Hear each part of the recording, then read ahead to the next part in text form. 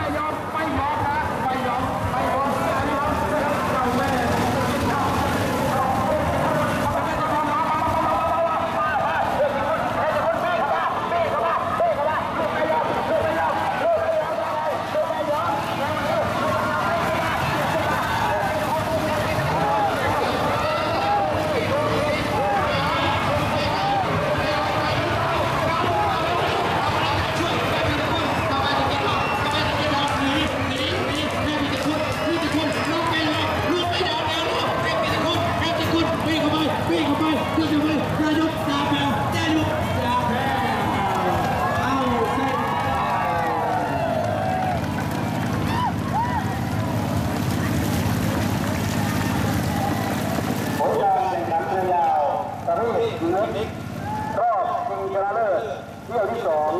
ระหว่างยิเรือเวทกิติคุณกับยิเรือเจ้าแม่ตะเกียรโนผู้ชนะคือดีเจ้าแม่ตะเกียรโนร่องน้ำ